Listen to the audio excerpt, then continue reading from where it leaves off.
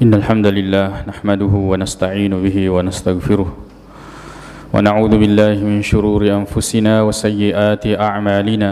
من يهده الله فلا مضل له ومن يضلل فلا هادي له. أشهد أن لا إله إلا الله وحده لا شريك له وأشهد أن محمدا عبده ورسوله صلى الله عليه وعلى آله وأصحابه وسلم تسليما كثيرا.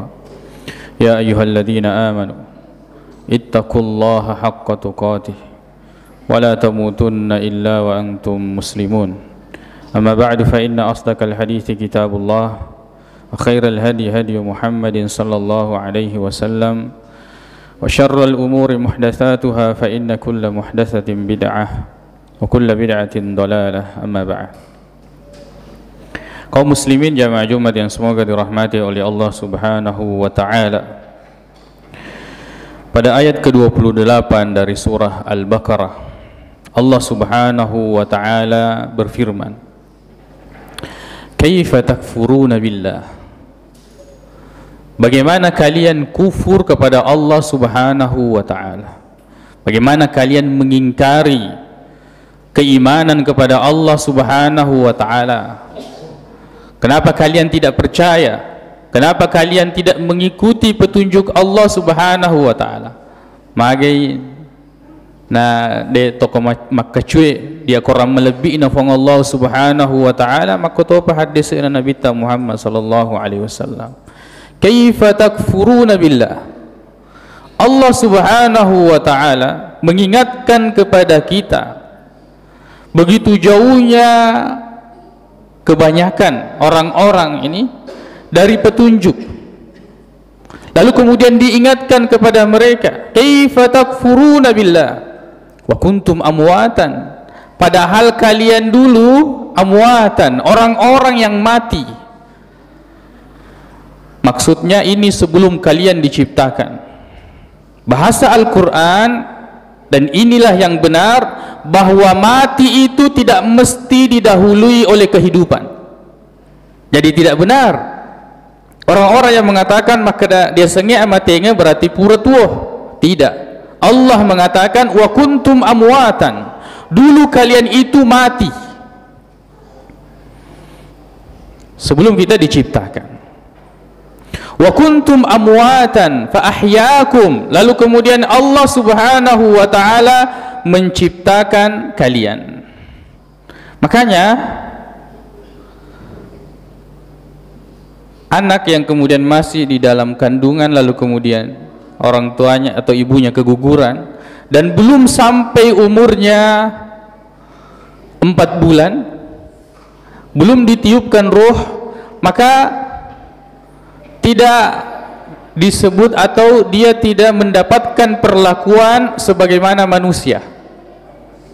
Karena masih dianggap belum menjadi manusia tidak dikafani tidak disolatkan. Ya. Kenapa belum ditiupkan ruh? Adapun setelah empat bulan maka dia diperlakukan sebagaimana orang yang hidup itu meninggal. Bagaimana kalian kufur kepada Allah sedangkan kalian dulu itu tidak ada fa'ahyakum lalu kemudian Allah menciptakan kalian. Allah memberikan nikmat kepada kalian. Yang menyombongkan dirinya ingat bahawa asal kalian itu tidak ada. Yang menganggap bahawa apa yang dia dapatkan sekarang ini dari hasil jeripayahnya dulu kalian itu tidak ada. Kalian orang tua kalian itu tidak ada. Lalu kemudian Allah menciptakan kalian memberikan kalian akal kekuatan memudahkan rezeki kalian.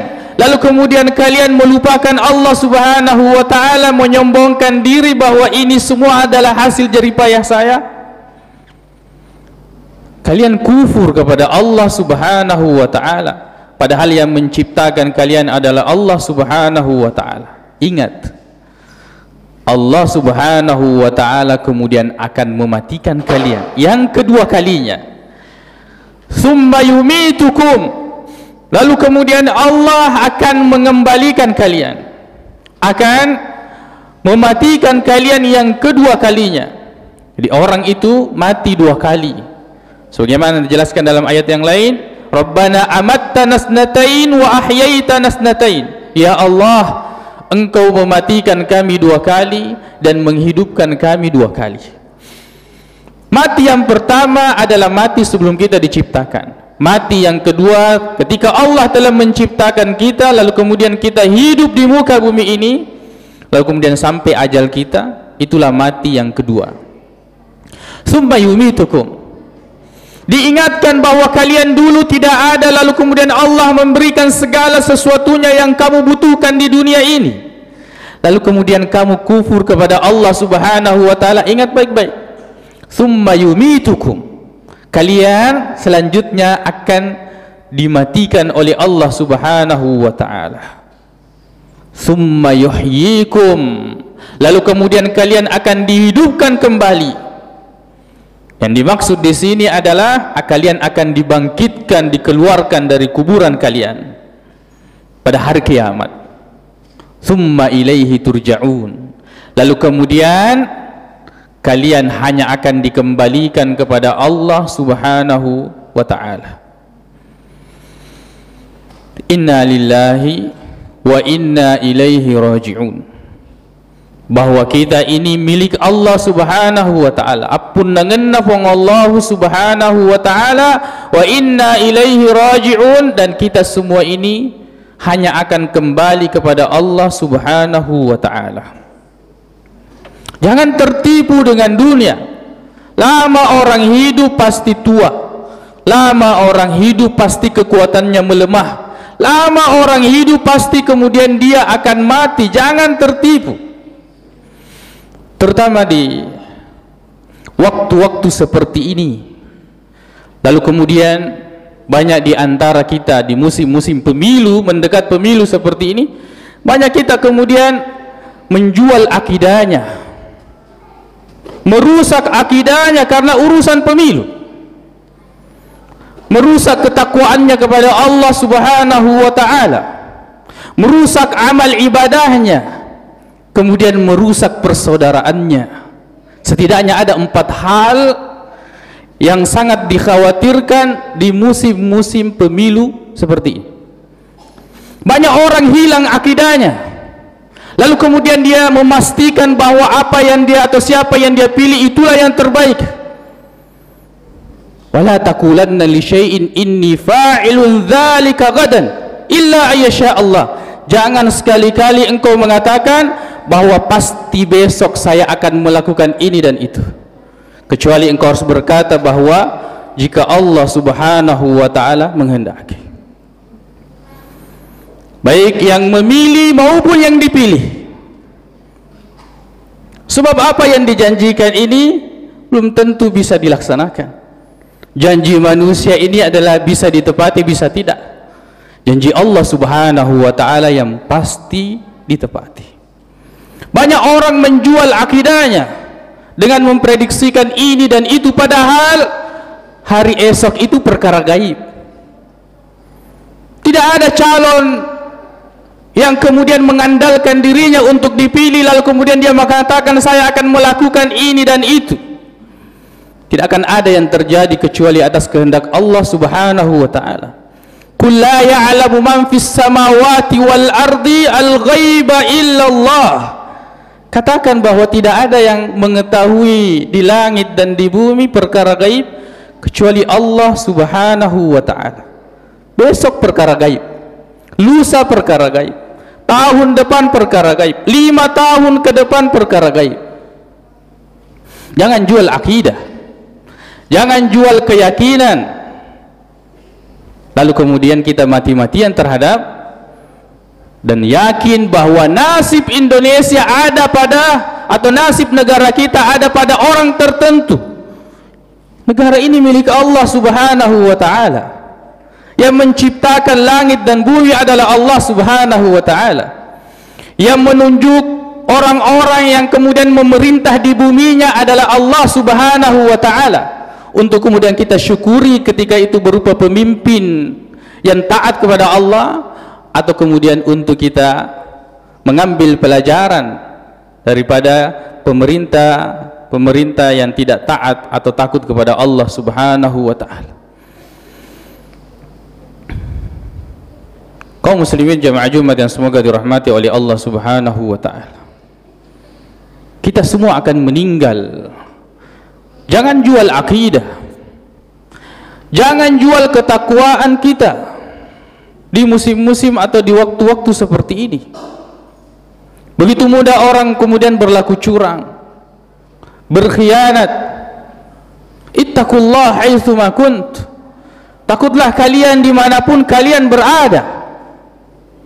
Ya ayyuhalladzina amanu ittaqullaha haqqa tuqati wahai orang-orang yang beriman bertakwalah kalian kepada Allah Subhanahu wa taala dengan sebenar-benarnya. Takutlah kepada Allah. Untuk kemudian berjanji lalu kalian tidak tepati. Janji ini adalah hutang yang akan ditagi. Masalah besar di hadapan Allah subhanahu wa ta'ala. Lalu kemudian siapa yang mengetahui bahawa kemudian kita akan menjadi pemimpin yang diridhai oleh Allah subhanahu wa ta'ala ataukah tidak? Kemudian yang ketiga di musim-musim seperti ini banyak orang yang menghamburkan amal ibadahnya dengan menceritakan keburukan. Dengan menuduh ini dengan menuduh itu dengan mengungkap keburukan ini keburukan si fulan dan seterusnya akan menghabiskan pahala kita membela ini membela itu apakah semakin mendekatkan diri kita kepada Allah tidak. Apakah kemudian menambah pahala kita? Belum tentu. Apakah akan menggugurkan dosa-dosa kita? Ataukah dosa yang akan bertambah dengan menceritakan dengan berprasangka buruk pada sesuatu yang tidak jelas maka bertakwalah kepada Allah subhanahu wa ta'ala dan jangan hambur-hamburkan amal ibadah yang pernah kita lakukan. Itu kalau kita punya ibadah. Itu kalau kita punya amal soleh bagaimana kalau tidak ada? Maka dosa yang bertumpuk akan berkumpul dan kita akan pertanggungjawabkan di hadapan Allah subhanahu wa ta'ala. Dan yang keempat adalah menjaga persaudaraan. Allah subhanahu wa ta'ala mengatakan innamal mu'minuna ikhwah. Bahwa kita semua ini bersaudara. Semua yang mengucapkan la ilaha illallah Muhammadar Rasulullah itu bersaudara yang mempersaudarakan adalah Allah Subhanahu wa taala. Tidak ada yang boleh memisahkan. Hanya karena kepentingan ini atau kepentingan itu. Lalu kemudian terpecah belah, bercerai-berai hanya kemudian karena urusan dunia. Allah mengatakan kalian bersaudara innamal mu'minuna ikhwah. Maka kita harus menjaga mereka. Menjaga lisan kita dari menyebutkan keburukan-keburukan mereka. Dan Alhamdulillah kita perhatikan bahawa orang-orang yang kemudian bermunculan yang kita lihat di mana-mana foto-fotonya itu adalah orang-orang yang mengucapkan la ilaha illallah Muhammad Rasul. Kecuali mungkin hanya beberapa orang kaum muslimin jamaah Jumat yang semoga dirahmati oleh Allah subhanahu wa ta'ala. Kita harus mengingat bahawa dahulu kita ini tidak ada. Lalu kemudian Allah menciptakan dan memudahkan kehidupan kita. Jangan tertipu. Kita kemudian kembali akan dimatikan oleh Allah subhanahu wa ta'ala lalu kemudian kita akan dibangkitkan dan akan ditempatkan dikembalikan kepada Allah sesuai dengan amal ibadah yang pernah kita lakukan. Sangat penting kita menjaga keempat hal ini di waktu-waktu seperti ini. Menjaga akidah. Mana lagi caleg-caleg yang bekerja sama dengan Sandro? Mana lagi caleg-caleg yang kemudian membentengi dirinya dengan baca-baca ini dan baca-baca itu? Penuh dengan kesyirikan. Kemudian menjaga amal, menjaga ketakwaan kepada Allah Subhanahu wa taala, menjaga lisan, menjaga hati di waktu-waktu seperti ini. Kemudian menjaga amal ibadah jangan sampai yang kita pernah lakukan ini kemudian habis itu kalau ada amal. Tapi setidaknya kalau amal kita sedikit, maka biarlah sedikit itu bertahan dan kita tidak menambah dosa lalu kemudian kita menjaga persaudaraan yang Allah subhanahu wa ta'ala perintahkan kepada kita untuk menjaganya. Tidak ada orang yang boleh merasa pantas dan sangat berjasa terhadap agama ini atau terhadap dakwah. Tidak ada. Semua orang bisa menggunakan keahlian atau kelebihan yang Allah Subhanahu wa taala berikan kepadanya untuk berdakwah di jalan Allah Subhanahu wa taala. Semua orang bisa menggunakan itu untuk kemudian berdakwah atau bersinergi dalam dakwah dan kebaikan tidak mesti sama dan tidak mesti kita sama-sama. Ini yang harus kita ketahui. Dalam kebaikan kita tidak mesti sama. Kamu melakukan ini, kamu urus di sana, kamu urus di tempat ini. Kita tidak mesti sama. Dan kita tidak mesti bersama-sama. Gunakanlah apa yang Allah subhanahu wa ta'ala mudahkan. Yang terpenting kita saling menjaga. Kita saling menjaga. Kita saling mendoakan. Kita saling apa namanya mendukung dalam kebaikan dan ketaatan kepada Allah Subhanahu wa taala. Karena di musim seperti ini di musim seperti ini waktu-waktu di mana kita terkadang tidak tahu kenapa orang membenci kita. Dan kita tidak tahu kenapa orang kemudian senang kepada kita. Entah apa yang dia inginkan atau apa yang dia tidak senangi dari kita. Biasanya itu karena musim-musim pemilu atau kampanye seperti ini. Begitu mudah orang dirangkul, begitu mudah kemudian orang dicampakkan sesuai dengan kepentingan. Maka tetaplah di musim-musim seperti ini perbaiki akidah kepada Allah Subhanahu wa taala, perbaiki keyakinan, perbaiki ketakwaan, jaga amal saleh yang pernah kita lakukan dan jagalah saudara-saudara kita sesama muslim. Aku lu qauli hadza wa astaghfirullah li wa lakum.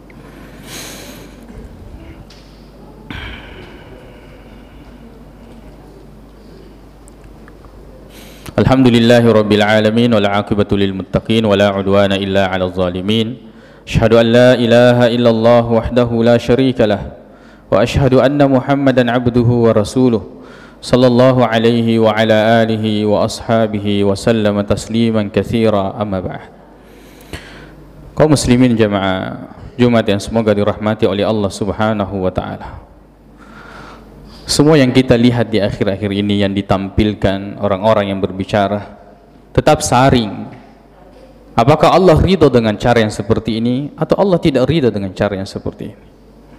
Bahwa apa yang ditampilkan saling menjatuhkan perdebatan antara ini dan itu itu tidak ada tidak didapatkan di dalam Islam cara yang seperti itu. Bahwa ketika kita harus memilih pemimpin kemudian di dipertemukan ini dan itu ini dan itu kemudian kelihatanlah semua aibnya. Bukan di dalam Islam tidak ada di dalam Islam seperti itu. Inilah kemudian kenapa kita berdoa kepada Allah subhanahu wa ta'ala agar kiranya Allah subhanahu wa ta'ala memudahkan kepada kita agar kiranya Islam bisa tumbuh besar dan mengembalikan kejayaan menanamkan ketakwaan akhlak yang mulia dari semua penduduk negeri ini. Agar kemudian orang-orang yang tampil dan berbicara adalah orang-orang yang bisa kita tiru adab dan akhlaknya. Orang-orang yang kemudian kelak menjadi pemimpin adalah betul-betul yang bisa ditiru oleh generasi oleh anak keturunan kita. Dari segi perkataan dari segi kebaikan-kebaikan, dari segi tanggungjawab, dari segi amanah, dari segi akhlak yang mulia. Kita sangat mengharapkan itu. Malakul lihal bahawa selalulah berdoa kepada Allah Subhanahu wa taala agar Allah menganugerahkan kepada kita pemimpin yang baik. Jangan fanatik terhadap siapapun. Sebab Allah hanya akan menunjuk orang tertentu. Lalu kemudian apakah kita akan berhenti berdoa kepada pemimpin yang Allah tentukan di negeri kita ini. Karena itu bukan pilihan kita saat pemilu. Tetap kita berdoa kepada Allah subhanahu wa ta'ala sebab jika pemimpin kita ini rusak maka rusaklah kita semua. Tetap berdoa kepada Allah siapapun yang Allah subhanahu wa ta'ala mudahkan untuk kemudian memimpin negeri ini. Allahumma gfir lana dhunubana wa israfana fi amrina وثبت أقدامنا وانصرنا على القوم الكافرين. اللهم اغفر المسلمين والمسلمات والمؤمنين والمؤمنات الأحياء منهم والأموات. إنك سميع قريب مجيب الدعوات ويا قاضي الحاجات اللهم إنا نسألك الهدى والتقى والعفاف والغنى. اللهم أرنا الحق حقا وارزقنا اتباعه وأرنا الباطل باطلا وارزقنا اجتنابه. ربنا آتنا في الدنيا حسنة وفي الآخرة حسنة وقنا عذاب النار. أقول قولي هذا وأستغفر الله لي ولكم. وآخر دعوانا أن الحمد لله رب العالمين وأقيموا الصلاة.